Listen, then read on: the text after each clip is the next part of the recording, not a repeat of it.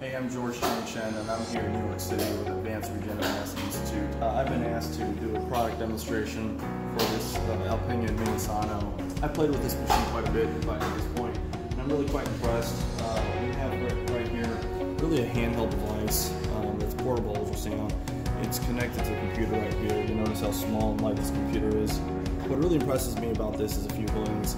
Um, you notice that uh, you actually get a really good picture with it. Here I am looking at the uh, flexor tendons of the hand, and we have um, right there over the MCP joint of my third digit, and you can see nice fibrillation of the flexor tendons moving in and out. What I also like about this model is that it's lightweight, it's portable, um, and it doesn't seem to have a tendency to run hot. I've also noticed that because it's so lightweight, uh, you can compare this to some of the other products out there quite heavy